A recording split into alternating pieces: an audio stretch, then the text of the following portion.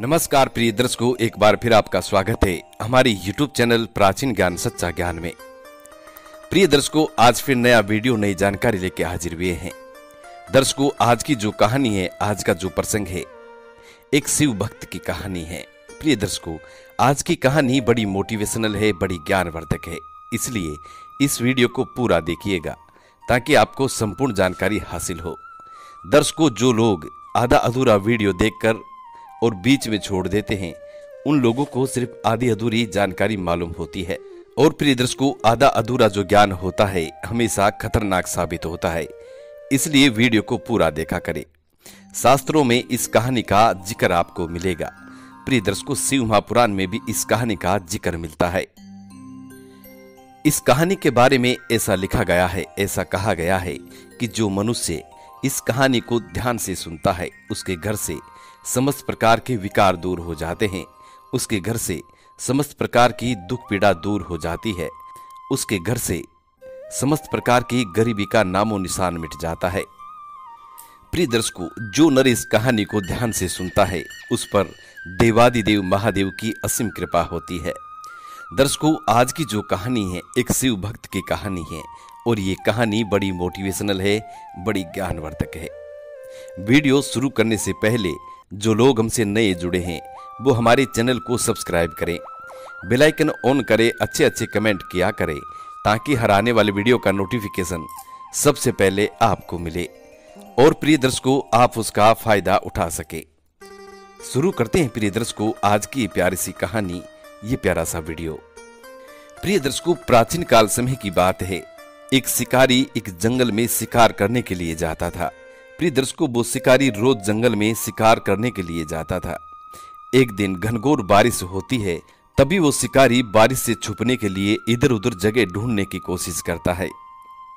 प्रिय दर्शकों अंत में उस शिकारी को एक शिव मंदिर नज़र आता है।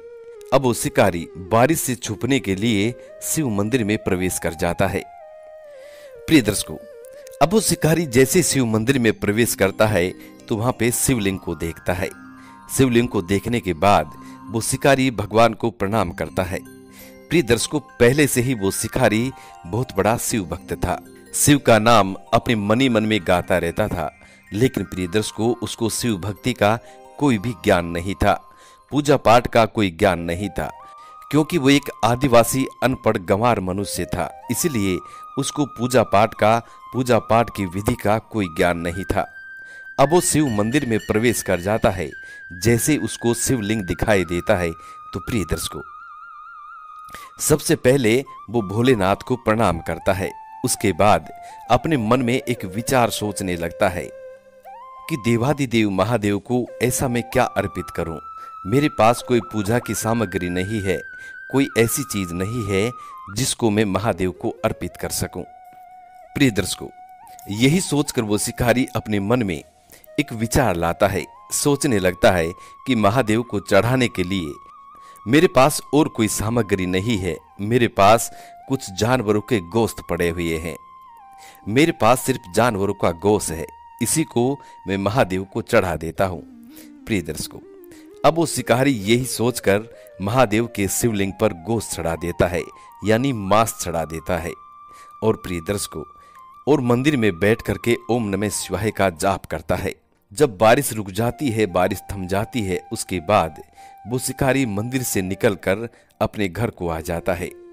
प्रिय दर्शकों, अब वो शिकारी रोज जंगल में शिकार के लिए जाता और शिकार करने के बाद रोज शिव मंदिर में आता और शिवलिंग पर मांस चढ़ाता।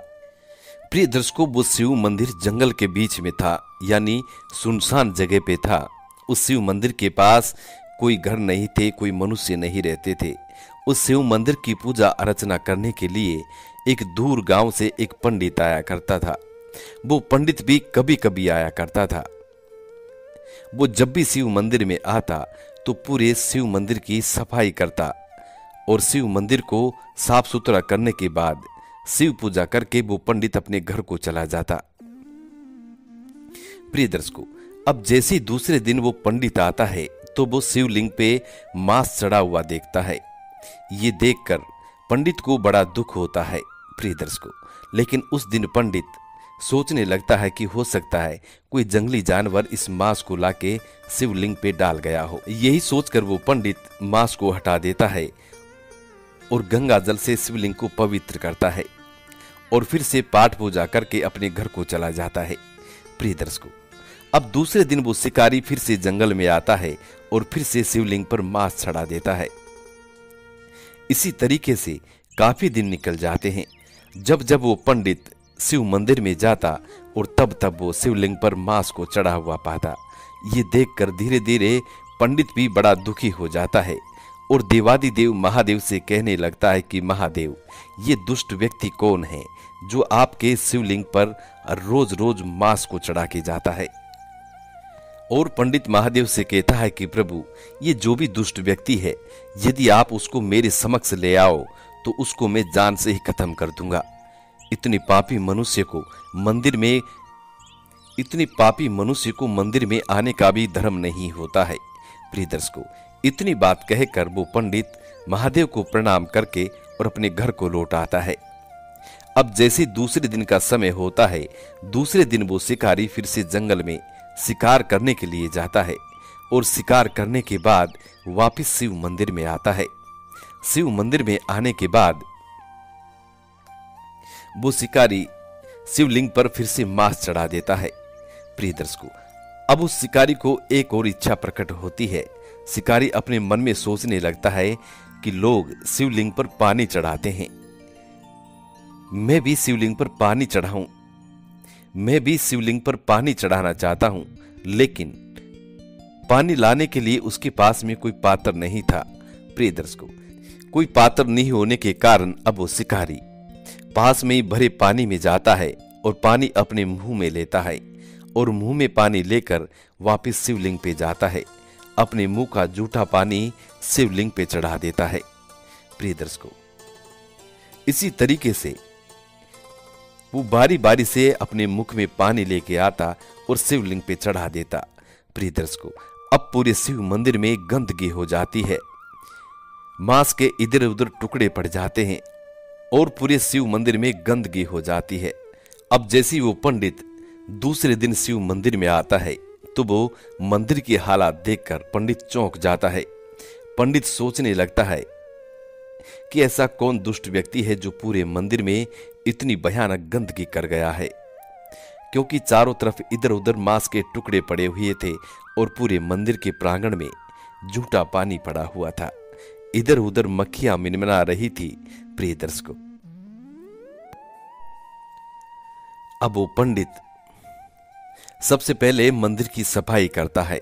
मंदिर की सफ़ाई करने के बाद देवादिदेव महादेव से प्रार्थना करता है और कहता है कि, प्रभु, ये दुष्ट व्यक्ति ऐसा कौन सा है जो आपके रहते हुए आपके ही शिवलिंग पर मांस चढ़ाता है और झूठा पानी इधर उधर चढ़ाता है? अब वो पंडित महादेव से कहता है कि, महादेव, आपको कसम है। ये जो भी दुष्ट व्यक्ति है, उसको मेरे समक्ष लेके आओ। उसी समय उसकी गर्दन धड़ से अलग कर दूँगा। इतनी बात वो पंडित महादेव से कहता है, प्रिय दर्शकों। जब पंडित इतनी बात महादेव से कहता है, शिवलिंग से आवाज़ आती है, शिवलिंग से आवाज़ आती है, महादेव कहते हैं कि, पंडित, तुम्हारी तरह मेरा ये भी परम भक्त है। और मेरा जो भी भक्त अपनी श्रद्धा से मुझे जो भी अर्पित करता है, उसको मैं श्रद्धा पूर्वक ग्रहण करता हूँ। तब पंडित महादेव से कहता है कि प्रभु, ये तुम्हारा ऐसा कौन सा विचित्र भक्त है, जो आप पर गोश्त चढ़ाता है, मांस चढ़ाता है और अपने मुख का झूठा पानी आप पे चढ़ाता है। तब महादेव, तब शिवलिंग से फिर से आवाज़ आती है। महादेव कहते हैं कि पंडित, यदि तुम मेरे इस भक्त को देखना चाहते हो तो मंदिर के प्रांगण से बाहर निकलो और बाहर किसी झाड़ी में छुप के बैठ जाओ। जब मेरा भक्त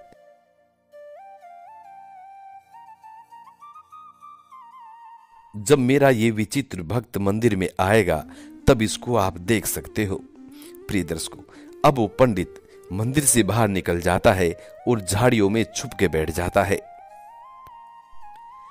प्रिय दर्शकों, अब जैसे वो शिकारी मंदिर में आता है, आते ही।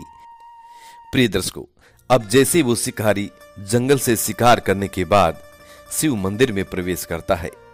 अब जैसे उस शिकारी की नज़र शिवलिंग पे जाती है तो वो देखता है। शिवलिंग पर बनी महादेव की एक आँख से खून निकल रहा था। प्रिय दर्शकों, ये देखकर वो शिकारी बड़ा चिंतित होता है और अपने मन में सोचने लगता है कि ज़रूर मेरे प्रभु की आँख खराब हो गई है और मेरे प्रभु की आँख से खून निकल रहा है। ऐसा विचार अपने मन में लाकर अब वो शिकारी अपने थैले से छुरी निकालता है और छुरी निकालकर अपनी एक आँख निकाल लेता है। खुद की आँख निकालकर महादेव को अर्पित कर देता है। प्रिय दर्शकों, इस सारी घटना को वो पंडित झाड़ियों से देख रहा था। जब वो शिकारी महादेव को अपनी एक आँख अर्पित कर देता है, प्रिय दर्शकों, तभी महादेव की दूसरी आँख से खून निकलना शुरू हो जाता है। जब वो शिकारी महादेव की दूसरी आँख को देखता है तो उसमें से भी खून निकलना शुरू हो जाता है। तब वो शिकारी अपने मन में विचार करता है कि क्यों न मैं मेरे प्रभु को मेरी दूसरी आँख भी अर्पित कर दूँ? यही सोचकर वो शिकारी फिर से छुरी हाथ में उठाता है और फिर से अपने मन में एक ख्याल आता है। सोचने लगता है कि यदि मैं महादेव को मेरी दूसरी आँख भी अर्पित कर दूँगा तो मेरे प्रभु को मैं देखूँगा कैसे? मुझे मुझे ये पता कैसे लगेगा कि मेरे प्रभु है कहाँ और कैसे हैं? लेकिन फिर भी सोचने लगता है कि मेरे प्रभु की आँख खराब हो गई है, इसलिए मैं मेरी दूसरी आँख भी महादेव को अर्पित कर देता हूँ। यही सोचकर वो शिकारी जैसे ही अपनी दूसरी आँख निकालना शुरू करते हैं तो प्रिय दर्शकों, महादेव उस शिकारी के सामने प्रकट होते हैं और अपने भक्त को महादेव दर्शन देते हैं। प्रिय दर्शकों, इस सारी घटना को वो पंडित झाड़ियों से छुप कर देख रहा था। उस शिकारी को महादेव दर्शन देते हैं और शिकारी से कहते हैं कि, शिकारी, तुम मेरे परम भक्त हो और और शिकारी से कहते हैं कि, शिकारी, तुम मेरे परम भक्त हो। तुम्हारी भक्ति से हम बेहद प्रसन्न हैं, बेहद खुश हैं। तुम्हें जो मांगना हो सो मांग लो, प्रिय दर्शकों। महादेव की कृपा से उस शिकारी की दोनों आँखें बिल्कुल ठीक हो जाती है। प्रिय दर्शकों तब वो शिकारी महादेव से कहता है कि, प्रभु, मुझे कुछ नहीं चाहिए। बस आपके दर्शन हो गए, मेरा जीवन सार्थक हो गया। प्रिय दर्शकों, तभी वो पंडित झाड़ियों से निकलकर महादेव के चरणों में पड़ जाता है और उस और उस शिकारी के चरणों में पड़ जाता है। पंडित शिकारी से कहने लगता है, पंडित महादेव से कहने लगता है कि, प्रभु, मैं इतने वर्षों से श्रद्धापूर्वक आपकी भक्ति कर रहा हूँ, लेकिन आपने आज तक मुझे दर्शन नहीं दिए और आपका ये परम भक्त शिकारी, इसको कुछ ही दिनों में आपने दर्शन भी दे दिए। ये शिकारी की भक्ति धन्य है और आप भी प्रभु धन्य हैं। प्रिय दर्शकों, तब महादेव शिकारी को वरदान देता है, महादेव कहता है, प्रिय दर्शकों, तब महादेव उस शिकारी को वरदान देता है। महादेव कहते हैं कि मेरे प्रिय भक्त अब मैं तुम्हें एक वरदान देता हूँ। तुम्हें इस संसार में लोग कन्ना पा नए नार के नाम से जानेंगे। प्रिय दर्शकों, उसके बाद उस शिकारी को लोग कन्नापा नए नार के नाम से जानते हैं। और प्रिय दर्शकों, उस शिकारी का कहीं कहीं मंदिर भी बना हुआ है। देवादिदेव महादेव का परम भक्त के नाम से इस नए नार शिकारी को जाना जाता है। प्रिय दर्शकों ये कहानी, ये कथा एक सत्य घटना पर आधारित है। इस कहानी के बारे में, इस कथा के बारे में ऐसा कहा जाता है कि जो मनुष्य इस कहानी को ध्यान से सुनता है प्रिय दर्शकों देवादिदेव महादेव की उस व्यक्ति पर असीम कृपा होती है और उस व्यक्ति के जीवन से समस्त प्रकार के कष्टों का नाश हो जाता है। उस व्यक्ति का जीवन बड़ा सुखमय होता है प्रिय दर्शकों हम उम्मीद करते हैं कि आज की ये छोटी सी शिव भक्त की एक कहानी आप लोगों को बेहद पसंद आई होगी और इस कहानी से आप ढेर सारी प्रेरणाएँ लेंगे। प्रिय दर्शकों, देवाधिदेव महादेव इतने भोले हैं कि अपने भक्त की हर इच्छा को पूर्ण करते हैं। यदि कोई भी बंदा महादेव को अपनी पूर्ण निष्ठा से यदि कुछ भी अर्पित करता है तो महादेव उसको सहज स्वीकार कर लेते हैं और अपने भक्त की संपूर्ण इच्छाओं को पूरी करते हैं। प्रिय दर्शकों, ये कहानियाँ समाप्त होती है। मिलते हैं आने वाले नेक्स्ट वीडियो में। तब तक अपना ख्याल रखें। जी नमस्कार, धन्यवाद।